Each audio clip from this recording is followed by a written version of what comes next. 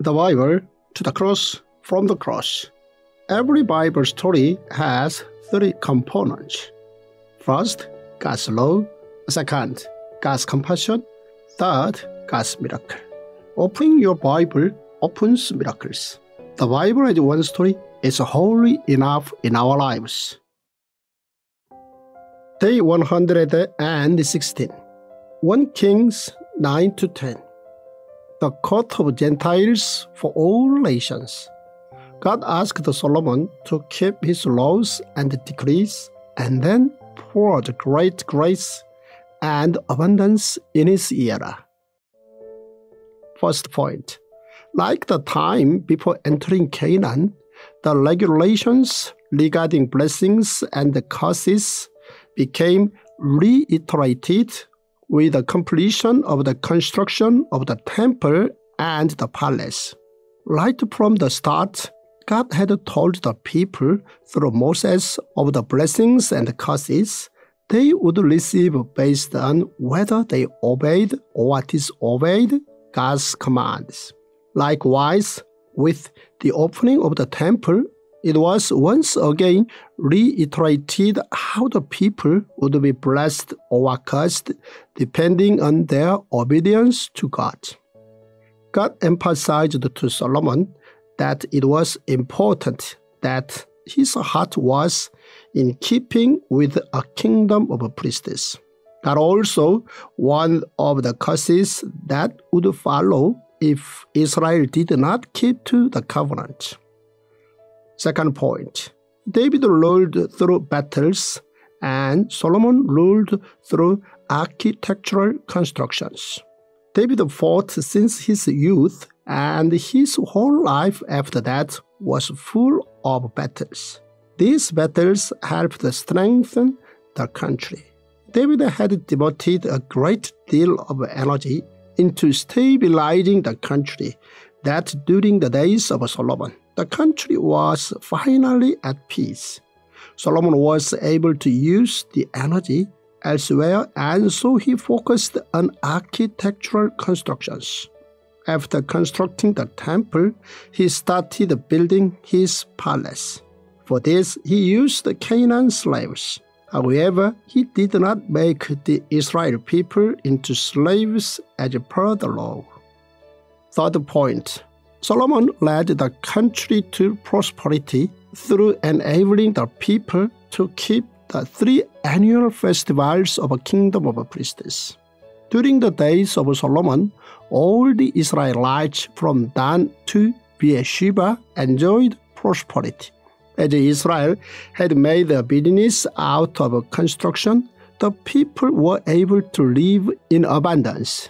This was possible due to Solomon enabling the people to keep the three annual festivals of the kingdom of priests and also through international trade. Fourth point the Queen of Sheba prayed in the court of the Gentiles when she visited the Jerusalem temple. With the expansion of international relations during the days of Solomon, and especially with Hiram, the king of Tyre, trading with Israel. The surrounding countries started to come to Israel for various reasons. One of these people was the king of Sheba. The king of Sheba wanted to test Solomon's wisdom as well as see opportunities for trade. When she came, she realized that God had granted Solomon an incredible amount of wisdom. Her visit made historical records. She claimed that Solomon's wisdom was greater than his reputation. She also stated that the people of Israel were blessed to be able to hear Solomon's wisdom. She furthermore sang God's praises and gave gifts to Solomon. During her visit, she visited the Jerusalem temple and also Solomon's palace. Even though she was royalty, because she was not an Israelite, she had to go to the court of the Gentiles according to the laws of a kingdom of priests. Fifth point Solomon's international relations became a path for blessing all nations. All of Solomon's wisdom came from God. But an unfortunate thing for Solomon compared to David was that he was not as sensitive to a kingdom of priests to the same extent as his father. According to God's laws, a king was not permitted to gather too many possessions or wives. But Solomon disobeyed this command. Solomon was not obedient to the laws in Deuteronomy.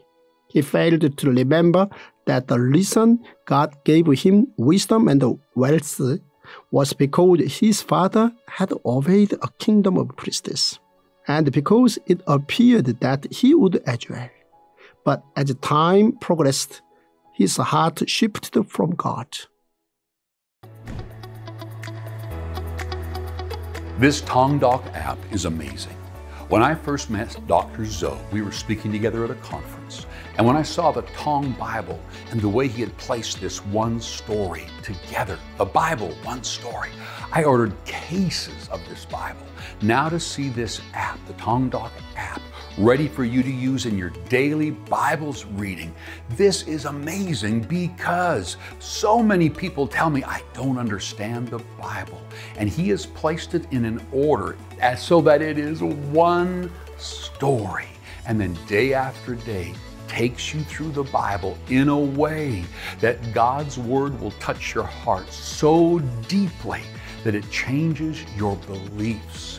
It helps you to rise up and be the amazing person He created you to be. Welcome to the Tongdok app.